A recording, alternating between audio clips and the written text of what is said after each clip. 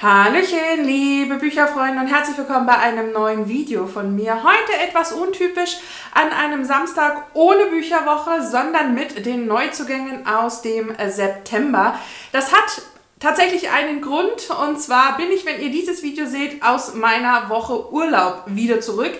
Ich äh, werde meinen Urlaub von Freitag bis Freitag am Meer verbracht haben und äh, hatte erst überlegt, donnerstags noch ganz schnell die Bücherwoche enden zu lassen, äh, Freitag Video zu drehen, hochzuladen und ähnlichem. Dachte, nein, das ist einfach viel zu viel Stress und macht auch gar nicht so viel Sinn. Vor allem, weil ich wahrscheinlich in der Woche vor dem Urlaub gar nicht so viel äh, lesen werde und das merkt man jetzt auch schon, dass ich aktuell noch im ersten Hörbuch der Woche sozusagen stecke und äh, mal gucken, ob ich, wie ich das diese Woche sozusagen dann auch im Urlaub vielleicht noch verbringe. Und da dachte ich mir, ich packe diese beiden Bücherwochen vor meinem Urlaub und dann in meinem Urlaub am Strand liegend sozusagen zusammen. Das seht ihr dann nächste Woche am Samstag in der Bücherwoche. Da werde ich dann auch etwas über meinen Urlaub berichten können und dachte, dafür machen wir heute einfach die Neuzugänge.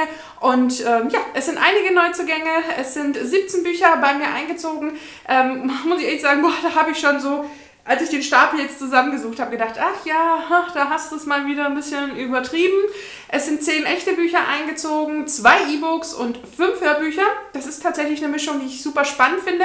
Nicht ganz 50-50, ich versuche hier immer Haptik und äh, digital so ein bisschen ausgleichen zu haben, aber ja, annähernd, äh, ja, tatsächlich einiges mehr an Hörbüchern äh, als an E-Books. Was mir diesen Monat tatsächlich aufgefallen ist, ist, dass einige tolle Bücher von Verlagen bei mir eingezogen sind. Das markiere ich euch natürlich immer unten in der Infobox.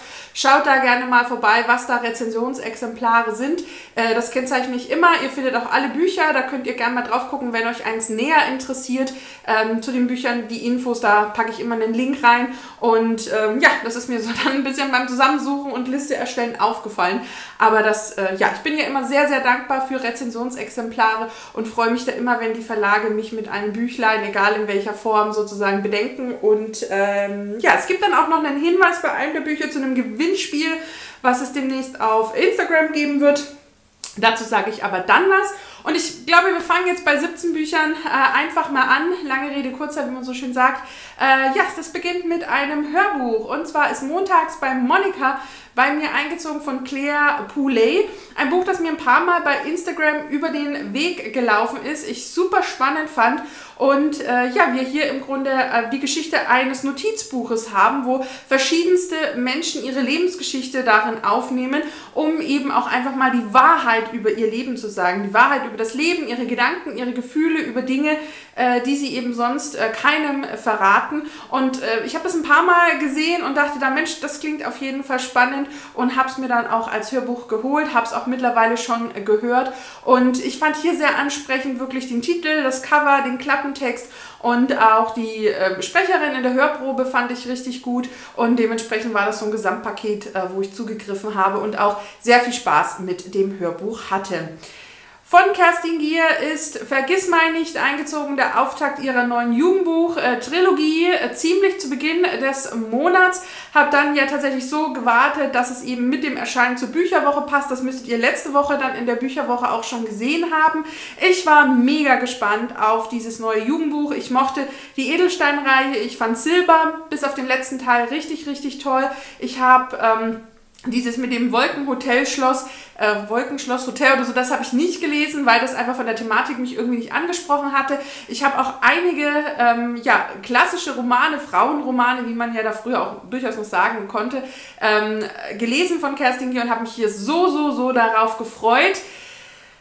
Muss aber sagen, es konnte meine Erwartungen nicht ganz erfüllen, ähm, fand aber so wie, wie die Aufmachung des Buches war, das Cover, ich, ich, ich finde auch die Idee, äh, was so dahinter steht, äh, sehr spannend und natürlich musste dieses Buch irgendwie bei mir einziehen. Ich hatte auch überlegt, es mir als haptisches Buch ähm, zu holen, weil es in der ersten Auflage auch einen speziellen Buchschnitt hat. Da ich jetzt aber nicht ganz so begeistert davon bin, wird das Buch nicht als echtes Buch sozusagen bei mir einziehen. Ähm, ich möchte jetzt auch gar nicht so viel dazu sagen. Das sind ja die Neuzugänge und nicht irgendwie ein Monatsbericht, aber ihr könnt natürlich in die Bücherwoche von letzter Woche schauen, wenn euch da meine Meinung mehr interessiert. Dann hat meine Kingsianer-Kollegin Paddy mich mit Grave angesteckt von Tracy Wolf. Ein Buch, das mir ein paar Mal über den Weg gelaufen ist. Ich so dachte, oh cool, Vampire. Es dann aber irgendwie in die Richtung Fantasy, New Adult so geschoben habe und dachte, puh, ein zweites Twilight äh, wäre nicht meins. Dann hat aber Paddy so, so geschwärmt und schon gesagt, äh, es ist natürlich ein Jugendbuch, es hat natürlich schon auch den Bad Boy, also den Vampir, wir sind da irgendwo in Alaska unterwegs. Ähm, das klang so spannend, aber wie Paddy geschwärmt hat und besonders die Dinge, die sie da hervorgehoben hat, die haben mich so, so, so angesprochen und dementsprechend ist dann auch das Hörbuch äh, bei mir eingezogen, weil ich glaube, dass das wirklich ein Buch sein kann, was mich eben als Hörbuch anspricht. Und ich bin ja in meiner Vampirphase, wenn ich da an meine Vampire Diaries Sucht aktuell äh, denke und ich freue mich auch mega auf Empire of the Vampire von ähm, Jay Christoph, was ja für nächstes Jahr in Deutsch auch angekündigt ist und äh, überlege ja auch, ob ich die Anne Rice Chroniken sozusagen lese äh, von, von Lestat und Louis und wie sie alle heißen in dem, in dem Zyklus. Und ja, ich glaube, da kommt Grey von Tracy Wolf gerade richtig, um mir da ein bisschen Vampir-Feeling zu geben. Dann das erste haptische Buch äh, ist von Jodie Picot. Und zwar Umwege des Lebens wurde mir hm, vom Verlag zugeschickt, ähm, auch unangefragt, äh, vom Bertelsmann Verlag. Ich habe, glaube ich, von Julie Bicot bisher nur ein Buch äh, gelesen, finde aber einige ihrer Bücher spannend. Und hier war es tatsächlich ganz spannend. ich habe das nämlich gesehen und es geht hier um Ägypten. Und das ist ja so mein Land, in dem ich jetzt ja im Grunde auch war, wenn ihr das Video seht. Und äh, aber jetzt, dass jetzt ich sozusagen noch nicht dort war und ich war ja schon sieben oder acht Mal dort und habe dann so den Klappentext gelesen und äh, dachte mir, wow, das passt perfekt zu mir und gefühlt war es zwei Tage später im Briefkasten. Es war ein bisschen gruselig, wenn ich ehrlich bin. Ähm, wir haben hier einen mitreißenden Roman über Chancen, die wir verpasst haben und solche, die noch vor uns liegen.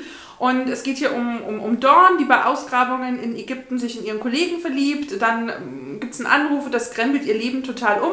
20 Jahre später ist sie verheiratet, hat eine Tochter, Tochter und arbeitet als Sterbebekleidung in Boston, macht also was ganz anderes.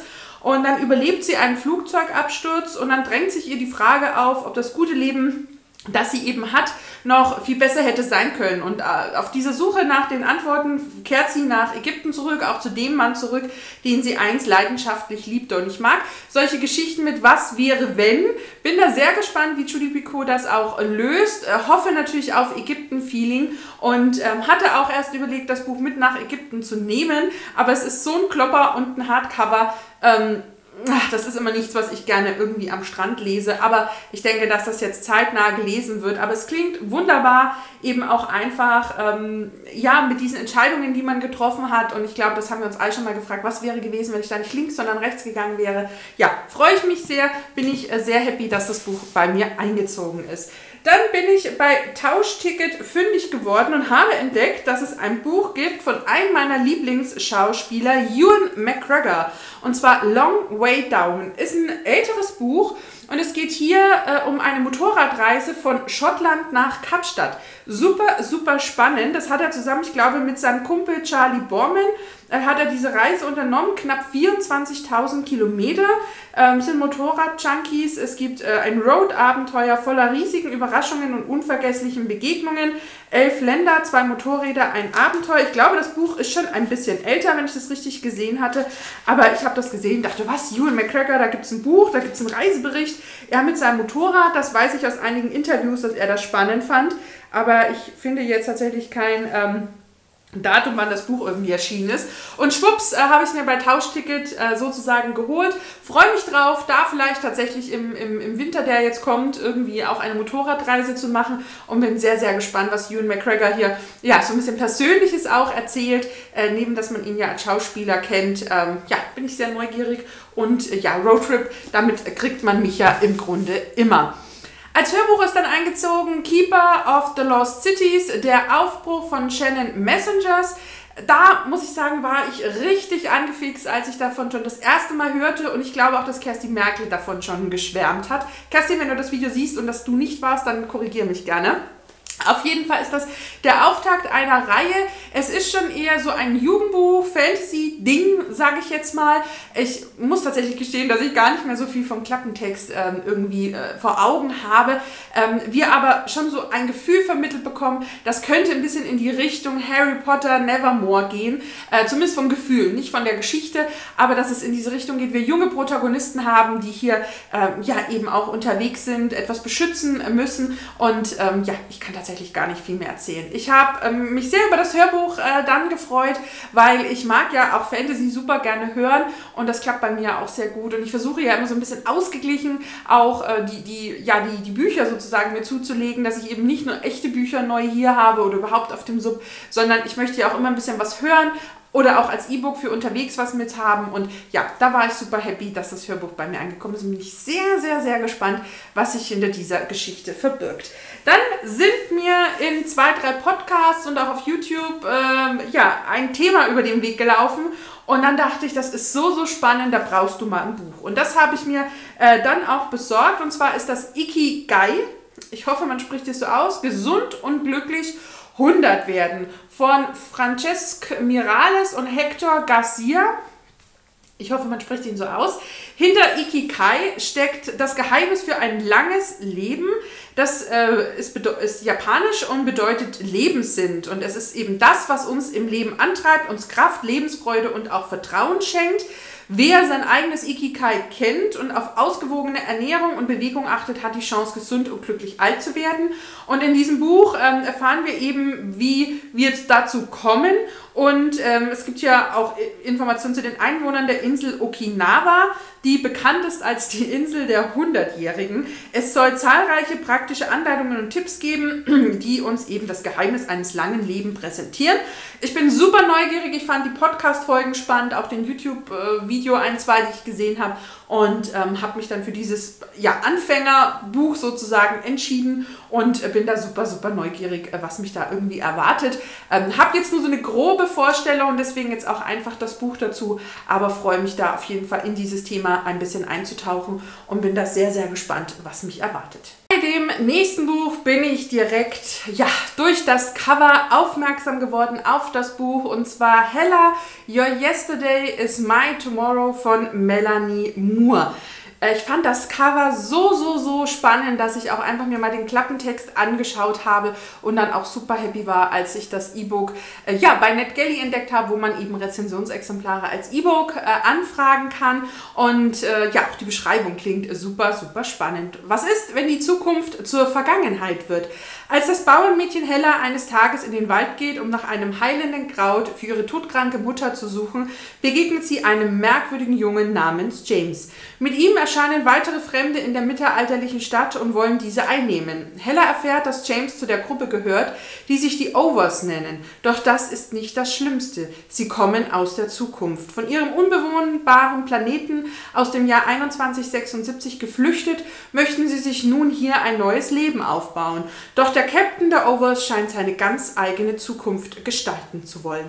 Das Buch ist im August erschienen und ich war super gespannt. Ich mag diese Art Zeitreisegeschichte ja immer sehr und bin hier super neugierig, dass hier Leute aus der Zukunft in die Vergangenheit kommen, mal sehen, was sie aus der Zukunft erzählen, was sie in der Vergangenheit wollen, warum auch vielleicht gerade das Dorf von Hella irgendwie ausgewählt wurde und auch was es mit dem Untertitel Your Yesterday is My Tomorrow vielleicht zu tun hat, bin ich super gespannt und freue mich da definitiv drauf, auch die Geschichte zu entdecken.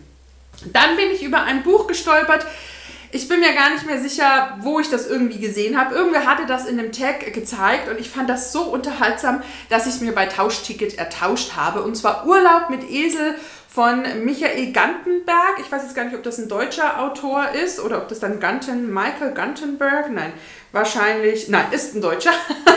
ich kann es also Gantenberg aussprechen. Ist ein super niedliches Cover äh, wo man eben den Esel dann äh, sozusagen auf der Rückseite durch die Leine irgendwie sieht. Total lustig. Und es soll wirklich super unterhaltsam sein. Das Tier im Manne, sehr witzig. Der perfekte Sommerroman über Beziehungen, Entschleunigung und die Komik der späten Erkenntnis. Es soll amüsante und kluge Beobachtungen haben, heitere, leichte, aber gar nicht seichte Lektüre. Steht gerade gedanklich auf meiner Leseliste für den Urlaub. Ist, glaube ich, auch von der Stärke tatsächlich ähm, was zum Mitnehmen. Ähm, mal sehen, ob ich mich dazu entschließe. Mich hat das einfach angelächelt, so für den Sommer. Natürlich ist es Anfang September nicht so sommerlich gewesen, aber ich glaube auch, dass ich das Ende August schon angefordert hatte, bis es dann da war. Übertauschticket dauert ja immer mal ein Stückchen. Aber ja, klingt nach einem tollen Buch, das den Sommer zurückbringt. Und mal sehen, vielleicht lege ich es tatsächlich jetzt auf den Urlaubsstapel und nehme es mit. Und dann könntet ihr es ja schon nächste Woche in der Bücherwoche sehen. Aber ich mag so humorvolle Geschichten im Sommer. Und äh, auch gerade Esel sind natürlich ganz spezielle und tolle Tiere. Und ach, es klingt einfach lustig da freue ich mich definitiv irgendwie aufs Lesen. Dann ist das neue Buch von Beth O'Leary bei mir eingezogen, Drive Me Crazy für die Liebe bitte wenden. Und ich bin ja ein großer Fan der ersten beiden Bücher der Autorin, habe ja beide sehr, sehr gemocht, wirklich gefeiert, Highlights äh, des Jahres auch mit geworden und war hier super neugierig. Ähm, ich habe jetzt aber schon bei Ruth gesehen im Video, dass sie sagt, man muss hier definitiv seine Erwartungshaltung verändern, dass man keinen locker leichten Roman bekommt, wie vielleicht bei Love to Share, beziehungsweise da eben Themen auch im Vordergrund sind, die man eben vielleicht von Beth O'Leary nicht erwartet. Äh, während ja Time to Love schon eher so diese diese, ja, ja, diese humorvolle Verwechslung hatte oder diese humorvollen Tausch hatte mit Oma und Enkelin. Ähm, oder bei Love to Share hatten wir auch die zwei Leute, die in der Wohnung sich teilen, äh, während sie aber immer in unterschiedlichen Schichten arbeiten und sich da eigentlich gar nicht treffen. Hier soll es ja in, um einen Roadtrip gehen zu einer Hochzeit und ähm, hier treffen äh, die beiden, also die beiden Partner einer Ex-Beziehung irgendwie aufeinander und äh, es ist dann wohl irgendwie so, dass die auch ihre Beziehung irgendwie aufarbeiten, die wohl sehr toxisch irgendwie war. Äh, ich muss sagen, ich hatte tatsächlich etwas anderes erwartet, äh, bin natürlich ein bisschen jetzt auch vorbereitet, dass mich etwas anderes hier erwartet. So wie Ruth es in ihrem Video auch beschrieben hat. Muss aber sagen, da hatte ich tatsächlich auch überlegt, es mit in den Urlaub zu nehmen, dachte aber dann, ob ich sowas Schweres in den Urlaub möchte hm. und habe davon tatsächlich auch abgesehen. Also ich denke, das wird dann eher jetzt ein Herbstbuch für den Oktober, November und bin da einfach trotzdem gespannt, möchte auch offen bleiben und hoffe, dass es zumindest ähm, mich dann so unterhält, beziehungsweise ich so gut finde, ähm, dass es dann vielleicht bei den beiden anderen Büchern auch Platz findet, äh, weil von der Optik, ich finde die immer sehr, sehr cool gemacht. Ich mag die Originalcover tatsächlich auch sehr gerne. Ich finde aber, was man hier ähm, ja, sich beim Diana Verlag hat einfallen lassen, auch richtig schön. Sehr gespannt, äh, was mich erwartet. Äh, Freue mich da definitiv dann auch aufs ähm, Lesen. Dann gab es eine Empfehlung von Fräulein Lore. Ähm, ich weiß gar nicht mehr, wie ich äh, daran hinkam oder wo die Empfehlung äh, zu mir gefunden hat. Wahrscheinlich auch, als es irgendwie um Reiseberichte ging. Und zwar hat sie äh, mir erzählt, dass von Maria Erich, das ist eine deutsche Schauspielerin, die man, ich glaube, aus der Edelsteinreihe kennt und auch aus, ähm, ach, diese Berlin-Serie, äh, Kudam 53, 57, also diese drei Serie, dreistaffelige Serie. Und zwar hat sie gesagt, da gibt es auch einen Reisetrip von ihr in Buchform. Man kann sich da auch den Film auf Netflix anschauen. Und zwar Leaving the Frame mit dem Untertitel Eine Weltreise ohne Drehbuch. Und das hat mich super, super angesprochen, habe ich bei Tauschticket ertauscht. Also da findet man durchaus eben auch mal ältere Schätze sozusagen in einem sehr, sehr guten Zustand. Und ich habe mir die Serie auf Netflix noch nicht angeschaut, möchte jetzt auch erst das Buch lesen. Ähm, raus aus der Filmwelt, rein ins Abenteuer. Maria Erich äh, steht schon viele Jahre vor der Kamera und dann zog sie als 26-Jährige mit ihrem Freund Manuel raus in die Welt. Mit einem alten VW Käfer haben sie 20.000 Kilometer von Mexiko durch die USA hinter sich gelassen und die Reise wird zu einem unvergesslichen Erlebnis. Es sind auch ein paar Bilder drin. Ich bin mega gespannt, wie Maria Erich ihre Reise hier erlebt und auch dokumentiert. Danke auf jeden Fall für den Tipp. Bin da immer sehr, sehr offen, wenn ihr da gute Bücher irgendwie empfehlen könnt und wollt. Immer in den Kommentaren super gerne und werde mir, denke ich, dann nach der Lektüre auch mal den Film anschauen. Ähm, gerade wenn es jetzt draußen einfach dann nicht mehr mehr so schön ist und es einen dunklen November gibt, da kann man natürlich sich ganz toll irgendwie wohin träumen und wegträumen und da freue ich mich auf jeden Fall schon sehr, sehr, sehr drauf. Ein Highlight-Kandidat ist ebenfalls im September erschienen und bei mir eingezogen wie ein Schatten im Sommer von Adriana Popescu. Ein Buch mit einem wunder, wunderschönen Cover, wie ich finde. Also farblich richtig, richtig toll gestaltet. Wie ihr seht, ist es auch schon eingeteilt. Ich werde das jetzt im Oktober zusammen mit der lieben Anka lesen. Freue mich da auch schon sehr, sehr, sehr drauf. Äh, wir wollten es eigentlich noch irgendwie vor meinem Urlaub äh, packen, aber das hat dann auch mit äh, der Krankheit von Anka nicht so richtig mehr geklappt und dann wäre es irgendwie so gehudelt Pudel gewesen und habe gesagt, das machen wir ganz entspannt im Oktober. Es ist das neue Jugendbuch von Adriana und ich habe ja alle Jugendbücher von ihr gelesen, alle gefeiert und bin jetzt auch sehr gespannt. Äh, wir sind hier ein Sommer auf dem Land, die erste große Liebe und ein schrecklicher Verdacht. Ähm, ich weiß gar nicht so genau, was hier so das Problem tatsächlich ist. Äh, wir sind hier in Maisfeldern, dann da ähm, fremdenfeindlichen Sprüchen und äh, ja, das wirft dann eben einen Schatten ins Sommerlicht. Ich möchte gar nicht so viel wissen, wenn ich ehrlich bin. Ähm, ja, es ist das neue Jugendbuch von Adriana. Die Erwartungshaltung ist hoch und groß und ich freue mich da sehr aufs Lesen, auf den Austausch mit Anka. Und das wird auf jeden Fall jetzt in einer der nächsten Bücherwochen im Laufe des Oktobers, denke ich, auf jeden Fall auch äh, vorgestellt. Und da freue ich mich sehr. Also ich habe da schon Highlight-Erwartungen dran und äh, bin hier super gespannt. Ähm, ja, was uns dann auch erwarten. Stolpert man gern, und das ist ja jetzt in diesen Neuzugängen öfter mal der Fall, über Bücher, wo man sich denkt, hm, was könnte da hinter sich verbergen? Cornflakes mit Johnny Depp von BJ Novak. Stories und andere Stories.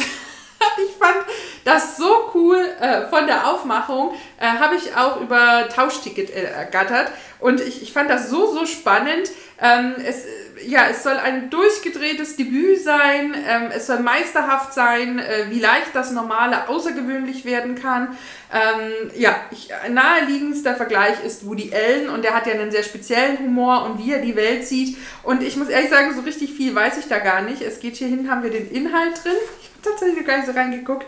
Ähm, ich finde das super spannend, dass irgendwas von John Grisham, der Krankenwagenfahrer, The Comedy Central Roast of Nelson Mandela, Der Geist Mark Twains. Die Konjunktur war am Boden. Chris Hansen beim Justin Bieber Konzert. Konfuzius privat. Maries blöder Freund ja, also ich bin super neugierig. Ich äh, erwarte mir hier sehr viel Unterhaltsames, Lustiges zum Schmunzeln, aber eben auch vielleicht so ein bisschen was Bitterböses, Trockenes.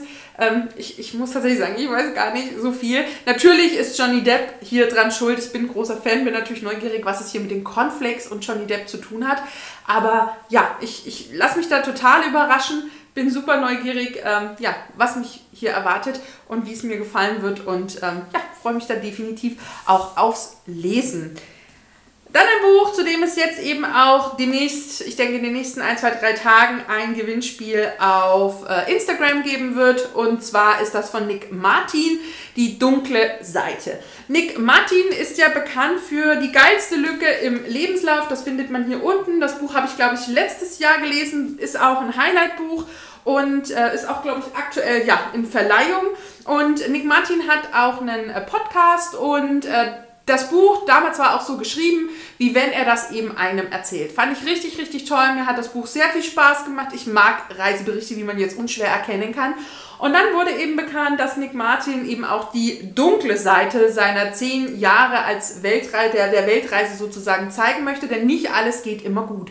Und eigentlich dachte ich, ja, hier reicht dir das E-Book ähm, für den Wälzer sozusagen, ähm, passt das. Doch dann hat der Verlag geschrieben, dass das Buch äh, verspätet sozusagen äh, verschickt wird, äh, dass das Buch nicht im September erscheint, sondern jetzt eben auch erst im Oktober. Ich glaube jetzt auch irgendwie um den 6., 7., 8. Oktober herum, äh, weil es einen Druckfehler irgendwie gibt in den Büchern. Also es gibt verschiedenste Seiten, die nicht so aussehen, wie sie aussehen sollten und dass Bücher eben in der Tonne landen und wer nicht vielleicht doch einfach nochmal ein Buch möchte.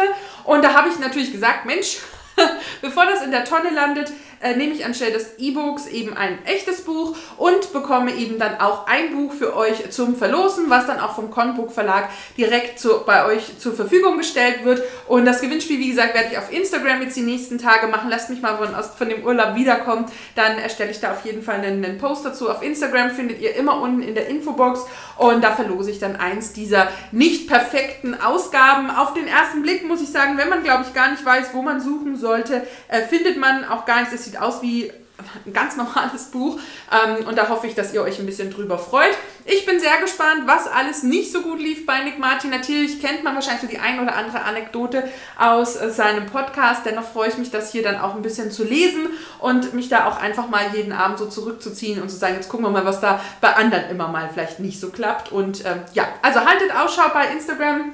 Da könnt ihr eins davon auch äh, dann gewinnen und äh, da bin ich auch schon super gespannt, wie wir das dann sozusagen finden werden. Ich hatte ein Hangout mit der lieben äh, Christine. Wir haben zusammen unsere gegenseitigen Pick My Subs sozusagen angeguckt und in einem Hangout drüber gequatscht, wie wir das so fanden. Und Christine hat geschwärmt von Kleine Feuer überall von Celeste Ing und es ist direkt als Hörbuch bei mir eingezogen. Und das höre ich auch aktuell äh, gerade. Und ich, äh, ja, muss sagen, Christine hat so, so geschwärmt und man hat schon so viel Positives darüber gehört. Und es gibt ja auch eine Serie, ich glaube bei Amazon, die man dann im Nachgang sozusagen sich anschauen könnte. Wir haben hier ja irgendwie eine Vorstadt und ähm, es ist nicht alles so, wie es scheint, äh, dass ganz viel im Argen sozusagen liegt. Und ich bin jetzt leider noch nicht so weit im Hörbuch, um da vielleicht schon was zu erzählen, aber Christine hat überzeugend mich angefixt. Vielen Dank dafür. Und da musste dann das Buch als Hörbuch auch einfach bei mir einziehen. Und als Hörbuch, weil ich eben dachte, Mensch, du hättest so viel Lust auf die Geschichte, das kriegst du nächste Woche auf jeden Fall noch unter. Und äh, deswegen habe ich mir jetzt das Hörbuch für diese viereinhalb Tage, die ich jetzt eben diese Woche zu Hause bin, mir geholt, weil das doch einfach beim Haushalt abends irgendwie zum Entspannen einfach einfacher ist als ähm, tatsächlich, also gerade beim Haushalt kann man ja nicht mit dem Buch rumlaufen, aber ich dachte, wenn ich in der Woche überhaupt irgendwie lesetechnisch was schaffe, dann eher zum Hören und äh, da freue ich mich definitiv auch als Weiterhören. Das neue Buch von Kai Meier ist ebenfalls bei mir eingezogen für Immerhaus und ich ähm, habe noch nicht so viel von Kai Meier gelesen, war auch nicht von allem irgendwie groß begeistert. Ich habe, glaube ich, noch ja Chinland, Sturmkönige hier auf dem Sub liegen, das ist ja auch schon ein älteres Werk und ich möchte hier jetzt aber mit dem neuen Buch, was so, so spannend klingt, äh, von Kai Meier eben auch einfach mal wieder so ein bisschen in, in seinen Lesefluss irgendwie kommen oder in seinen Schreibfluss und einfach mal sehen, was er hier so gezaubert hat. Hier hatte mich ja insbesondere zuerst das Cover sehr, sehr, sehr angesprochen. Und dann haben wir hier eben das Für immer Haus, das zwischen den Welten am Ufer eines dunklen Ozeans steht. Es hat tausende Hallen und Säle. Seine Korridore sind endlos und noch immer wächst es weiter und verändert sich. Dort stranden junge Heldinnen und Helden, die ihre Welten vor dem Untergang bewahrt haben. Die Herrschenden fürchten ihre Macht und schicken sie hierher ins Exil. Doch Carter ist kein Held wie die anderen. Er besitzt keine Erinnerung, ist nur von einem überzeugt, er hat niemals eine Welt gerettet. Und so begibt er sich auf die abenteuerliche Reise durch das Für immer Haus auf der Suche nach seiner Bestimmung. Und es klingt nach wunderbarer ja, Jugend-Fantasy äh, mit diesem Haus, in dem wir Helden treffen, die ihre Welten gerettet haben, die ins Exil geschickt wurden. Und man kann sich schon vielleicht sogar vorstellen, welche Helden aus unseren Büchern sich dort irgendwie tummeln und treffen. Und ich fand, das klingt einfach super spannend. Und ich glaube, es ist sogar ein Einzelband, wenn ich das jetzt richtig in Erinnerung habe und richtig gesehen hatte. Äh, ich glaube nicht, dass das der Auftakt von irgendwie einer Reihe war war, bin mir aber gerade auch gar nicht sicher, ähm, aber dachte, es ist ein Einzelband und es klang einfach toll und ich dachte, ja, vielleicht kann mich damit Kai Meier wieder mal ein bisschen näher zu sich bringen und äh, vielleicht greife ich dann danach auch einfach direkt mal zu den Chinlanden. Und das letzte Buch, ja, wir sind endlich am Ende angekommen, ist ein Buch, mit dem hat mich Steffi vom Buchschnack total angefixt. Und ich glaube auch viele anderen von uns. Und ähm, ich habe lange überlegt, ob ich es mir in Deutsch hole, in Englisch hole, habe dann Steffi auch einfach gefragt, Mensch, wie ist denn hier so das Englisch? Und sie hat gesagt, Mensch, wenn du Harry Potter auf Englisch liest, kommst du hier auch absolut äh, zurecht. Und zwar ist es The Haunting of Evelyn Jones von Phil Hicks. Und ich muss ehrlich gestehen, so richtig viel weiß ich über dieses Buch gar nicht, außer was Steffi so ein bisschen erzählt hat von Evelyn Jones, von der Geschichte, dass das so ein bisschen ein Grusel-Märchenbuch ist, eben auch für Jüngere. Also es ist eher doch tatsächlich ein Kinderbuch und ich finde auch das englische Cover so, so, so schön. Und es ist ja jetzt auch das englische Buch, der zweite Band, schon herausgekommen. Ich glaube, im Deutschen gibt es das erste Buch auch schon. Und äh, Turn on Your Torches, Torches ähm, Enjoying Evelyn Jones. Ah ja, okay. Und ich, ich, ich bin so gespannt. Und auch das ist ein Buch, was ich so in Gedanken habe, ob das nicht was jetzt für den Urlaub wäre, gewesen wäre, je nachdem. Es ist immer so merkwürdig, in der Zukunft mit der Vergangenheit zu sprechen. Aber ähm, es ist vielleicht doch ein bisschen zu herbstlich, um das am Strand zu legen. Wobei es natürlich von der Dicke ideal wäre. Ich finde das englische Cover im Übrigen wirklich viel, viel gelungener als das deutsche. Ähm, da denke ich mir echt, da hat man irgendwie so versucht, ja, irgendwie ja, ja, Harry Potter in weiblich und vielleicht eher dann wie eine Ginny Potter. Also ich, ich muss sagen, das deutsche Cover gefiel mir nicht so. Und ich habe es mir dann einfach auf Englisch geholt und war auch super schnell da. Und ja, bin super gespannt. Ja, Steffi kann definitiv ähnlich wie Christine auch sehr gut anfixen. Und bei Steffi ist jetzt auch schon der zweite Band eingezogen. Und da freue ich mich auch schon auf die Gedanken. Und ich freue mich hier tatsächlich auch auf ein englisches Buch. Ähm, lese ich ja tatsächlich gar nicht mehr so häufig. Ich habe schon überlegt, ob man vielleicht nächstes Jahr irgendwie mal eine Challenge draus macht, jeden Buch, jeden Monat ein englisches Buch zu lesen. Wobei, das müsste man natürlich dann gezielt machen, wenn Neuerscheinungen kommen, die gäbe es in der Originalsprache, dass man dann, dann vielleicht darauf zurückgreift. Aber ähm, da mache ich mir gegen Ende des Jahres einfach mal Gedanken. Aber darauf freue ich mich denke, ist eher jetzt ein Kandidat für den Oktober, November und äh, bin super gespannt, ob äh, mich das Buch ähnlich äh, ja, anfixen kann, wie es äh, ja im Grunde auch von der lieben Steffi so erzählt wurde. Und das waren sie jetzt auch schon, die 17 Neuzugänge. Wirklich irre, was da diesen Monat eingezogen ist und es ist gefühlt noch gar nicht so viel gelesen davon. Das macht mir tatsächlich immer am meisten Sorge im Anbetracht des Rache des Subs. Ich habe auch diesen Monat definitiv weniger als 17 Bücher gelesen. Ich glaube, ich bin aktuell irgendwas bei 12, 13. Also definitiv weniger. Es hat sich der Sub ein bisschen aufgebaut. Ähm, wobei ich glaube, ich habe auch ein Buch irgendwie nach 40, 50 Seiten abgebrochen, was dann ja bei mir auch in die Statistik gar nicht so mit reinzählt. Äh, ja, aber Ha, 17 Bücher, aber gut. Ich bin natürlich neugierig, was im September bei euch eingezogen ist, ob ihr Einzelbücher vielleicht schon gelesen habt, gerade auch die älteren Bücher, ob euch da was bekannt vorkommt. Schreibt das super gerne in die Kommentare. Und nächsten Samstag habt ihr dann wieder eine Bücherwoche, da dann mit einer gut erholten, hoffentlich gebräunten und entspannten Steffi, die dann zwar schon wieder ein paar Tage im Lande ist, aber äh, ja, definitiv hoffentlich noch so ein bisschen Urlaubsstimmung mitbringt. Und da gibt es dann eben auch einfach eine, eine Doppelbücherwoche in einem. Und ähm, ja, ich ich danke euch jetzt fürs Zusehen, wünsche euch noch einen schönen Tag, einen schönen Abend, ein schönes Wochenende und dann sehen wir uns beim nächsten Video. Macht's gut, tschüss, eure Steffi.